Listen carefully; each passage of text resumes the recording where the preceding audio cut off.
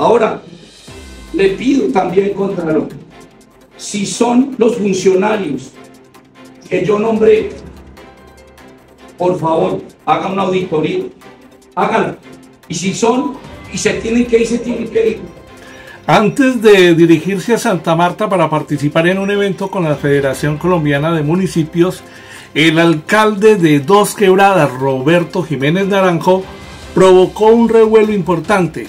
La semana pasada Jiménez Naranjo expresó sus preocupaciones a todos los servidores públicos de la Secretaría de Tránsito y Movilidad debido a lo que él percibe como una falta de atención adecuada a los usuarios.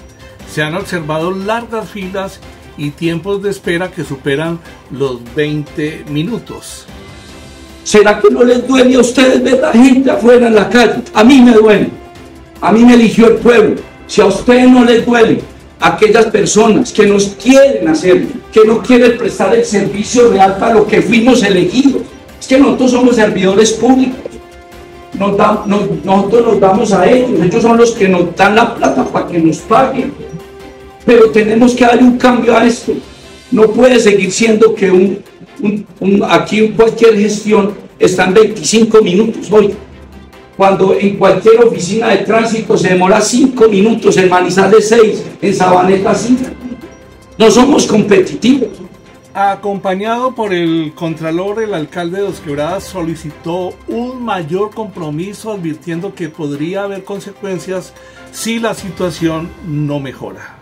Este incidente capturado en un video difundido en las redes sociales del alcalde Roberto Jiménez y en las cuentas oficiales de la alcaldía de Dos Quebradas se volvió viral y generó molestias en el sindicato de trabajadores y empleados del municipio.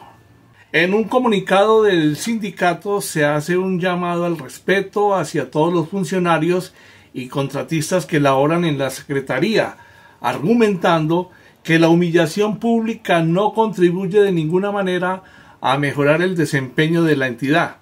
Más bien, dicen ellos, fomenta la estigmatización de los servidores públicos y afecta la relación con los usuarios.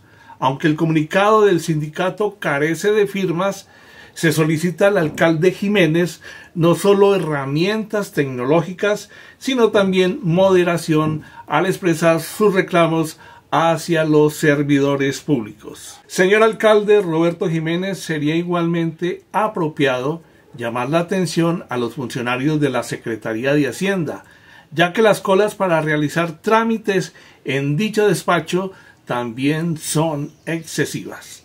Saludo cordial para todos, seguimos en contacto.